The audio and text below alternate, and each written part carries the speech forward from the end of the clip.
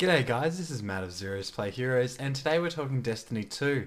Um, now a game I've been pretty excited about, hyped about even, um, and it has released out on the PlayStation 4 and Xbox One to play now. Um, now, I got an opportunity to play this game on PC in beta.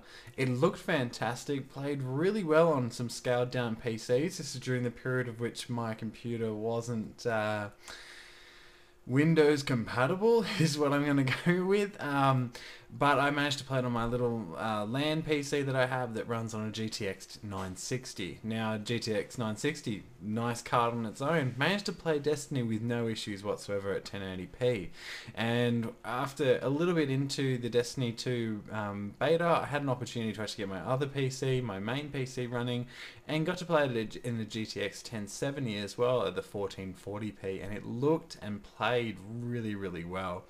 Now, I saw some improvements in the game and things that I'd like to talk about once I actually get my hands on the real release because there's not much point talking too much about the beta.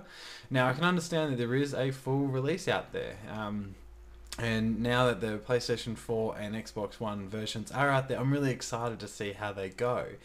The question I've got, and it's just a little bit, probably because I'm part of that, I don't know, the group who don't have it at the moment, um, a little bit of the have-nots. Why is the PC release six week difference? Uh, I know that the beta was around that same difference as well, but it seems very hard to believe that the port would take that long.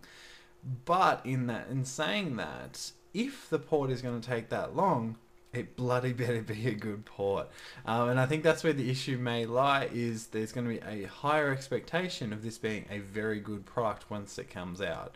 And with it taking longer to come out on PC, the expectation will be also that a lot of the content that would probably be held within the first few weeks, which is a very common practice for MMOs, usually the latter end content and that type of stuff, and some of the PvP stuff as well, will need to be fully released when the PC game gets released because as much as Xbox and um, the PlayStation players will give it a go, they just can't compete on the same level of usage that a PC uh, player will be able to. And well, the evidence is in looking at how MMOs are played. PCs play the hell out of them. So it should be good. The game played really well. It looked fantastic. It sounded amazing for the most part. Um, and just, it was a really good beta. It was a good sales pitch as a beta as well when they did the open beta part of it.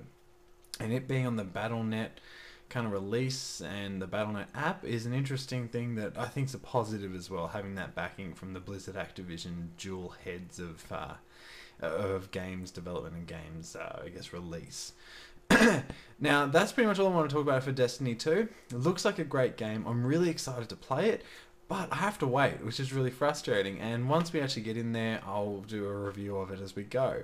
I don't, even though I enjoyed it, I don't think this is going to be the game of the year. I think it's a good game. I think it's a great step for a positive kind of reboot of Destiny, um, and it seems to be the way that I think Destiny is supposed to be, which is really, really positive, and I think there's a really good potential of this game becoming something really big. Now, there is a lot of issues that are starting to come up in regards to microtransactions and all that type of thing. Once again, things that we'll discuss in that next video. Cheers heaps guys, stay tuned for some more videos. Um, I've actually started working with the Patreon stuff as well. You'll notice that none of my videos are have any advertising in them whatsoever and I will eventually link the Patreon stuff but I'm still working on getting the kinks kind of worked out. Thanks heaps guys, have a great day in tech and oh, a great day gaming, an even better day in tech, especially when you get your own catchphrase thing wrong. And I'll tell you what, I'll see you in the next video. Cheers heaps guys, bye.